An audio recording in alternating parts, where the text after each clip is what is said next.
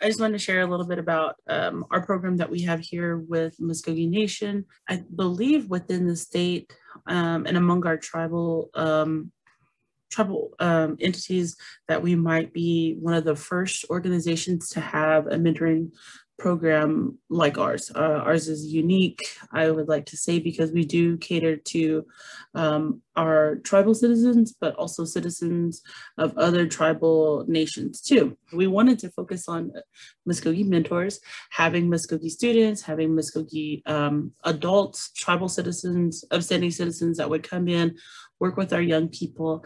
And of course, you know, we do have many citizens, um, but not everyone is able to take that time to work with our youth. And um, so we've had a couple of uh, different things happen.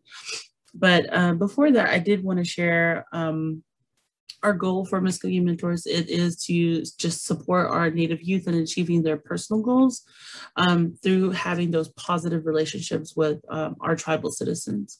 And um, speaking, you know, of course, from experience, you know, growing up in rural Oklahoma, um, being Native American, at times your family are going to be the only adults within your life that you know you can go to talk to and so for many young native people that was something that we did see was a need and through our surveys and um, uh, mostly our surveys that we would send out to our young people in our communities within our uh, reservation and within the tribe, that was something that was needed. And so that's where Mvskoke Mentors came from.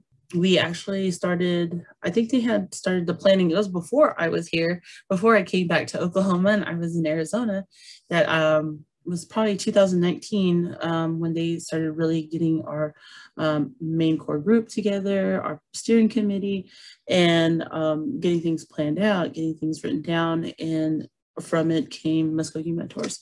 We work with, um, right now, we directly work with Eufaula Dormitory.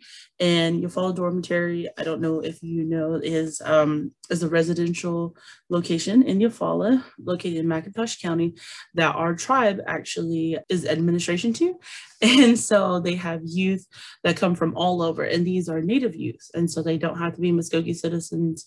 Um, they do have to be uh, of of, of a federally recognized tribe.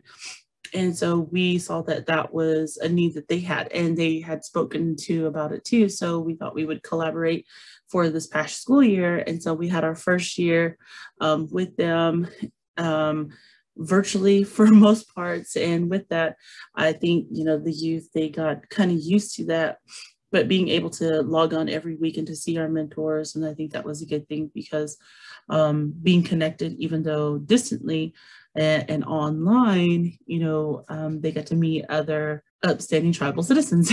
and so we had citizens um, that were active service members that lived in Maryland, that was a mentor. We had um, another citizen that was uh, in the Bay Area and she was continuing on with her education. So she was grad student. We have a PhD student that is local. And so, you know, we have all these um, mentors that stepped up and got to reach out to our youth. And, you know, for me, it was really exciting. It meant a lot. And to do that in a school setting, but also to do it in a cultural setting, because that's important, is to know um, they have similar backgrounds. They come from um, similar uh, understandings of family situations. And so, you know, for us, that is one key part to our program is um, to be culturally relative to those that we serve. And in, in a Native population, it is very important. And, uh, with our program that that is something that is very much key besides you know working through character